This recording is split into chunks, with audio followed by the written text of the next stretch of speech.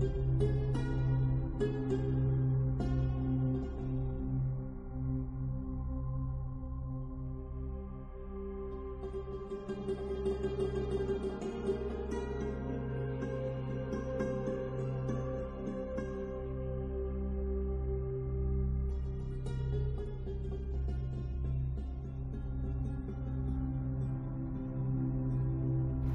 السلام علیکم، کیسے ہیں دوستو؟ میں ہوں آپ کا دوست ضیاء اور ویلکم کہتا ہوں آپ کو، آپ کے اپنے چینل چلے فقیر پر۔ آج میں موجود ہوں زائد میں، یہ میرے پیچھے زائد راؤنڈ اباؤٹ ہے۔ شارجہ کا ایریا زائد جو یہاں شارجہ میں لوگ رہتے ہیں، وہ جانتے ہیں۔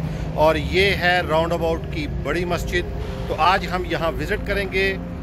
عشاء کی نماز بھی یہاں ادا کریں گے اور پوری مسجد بھی آپ کو دکھاؤں گا۔ جانے سے پہلے چینل سبسکرائب کر لیں، بیل آئیکن دبا دیں تاکہ آپ کو ہماری نئی آنے والی ویڈیو کے نوٹیفیکیشنز بر وقت ملتے رہیں، ہر وقت ملتے رہیں۔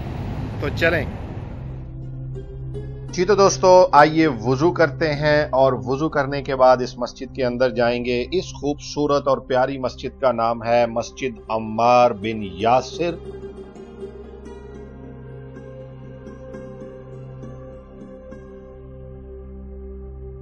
اور اس مسجد میں دوستو، اسی نام سے ایک لائبریری بھی موجود ہے۔ تو آئیے دوستو، مسجد کے اندر چلتے ہیں۔ مسجد کے اندر جیسے ہی آپ داخل ہوتے ہیں، تو سب سے پہلے آپ کو یہ چھوٹا ہال نظر آتا ہے۔ چھوٹا ہال جیسے ہی آپ کراس کریں گے، تو اس طرح آپ بڑے ہال میں داخل ہو جائیں گے۔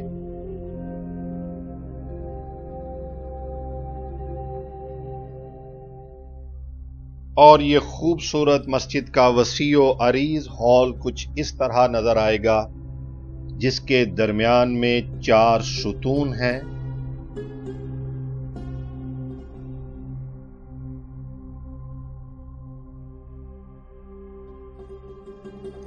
کارپٹ ویو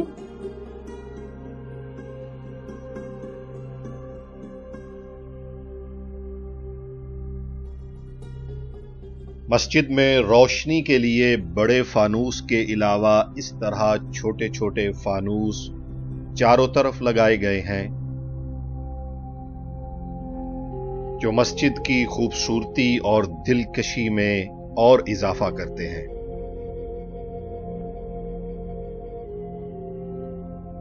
محراب و ممبر نماز عشاء ابھی ہونے ہی والی ہے۔ تو پہلے نماز عشاء ادا کریں گے اور اس کے بعد آپ کو یہ حسین مسجد دکھائیں گے۔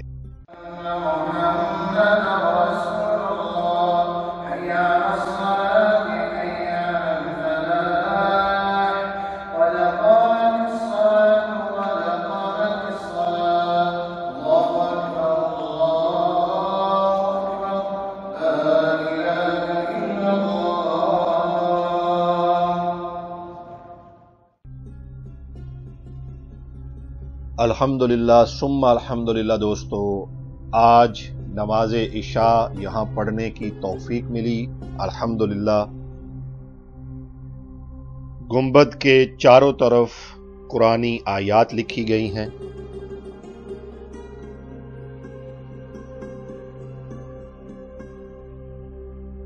اور اس گنبد کے درمیان کا جو فانوس ہے وہ اس مسجد کی خوبصورتی کو چار چاند لگا دیتا ہے۔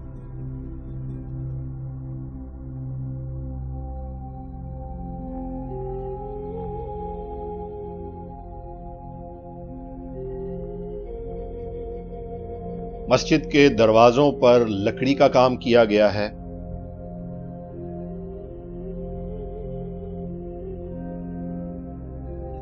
دوستو، آج یہاں ہمیں نماز عشاء پڑھ کر بہت روحانیت نصیب ہوئی۔ الحمدللہ، اللہ کا شکر ادا کرتے ہیں۔ اور آئیے اس مسجد سے باہر چلتے ہیں۔ جی تو دوستو، نماز عشاء ادا ہو چکی۔ اور الحمدللہ، ثم الحمدللہ کہ آج پوری تفصیل کے ساتھ آپ کو یہ میں نے مسجد دکھائی۔ اور اپنا فیڈ بیک ضرور دیجیے گا، مجھے بتائیے گا کہ آپ کو یہ آج کی ویڈیو کیسی لگی؟ میں لے کے آتا رہوں گا آپ کے لیے اور اچھی اچھی ویڈیو۔ چینل سبسکرائب کر لیں، بیل آئیکن دبا دیں تاکہ آپ کو ہماری نئی آنے والی ویڈیو کے نوٹفکیشنز بر وقت ملتے رہیں، ہر وقت ملتے رہیں۔ ملتے ہیں نیکسٹ خوبصورت ویڈیو کے ساتھ۔ اللہ حافظ۔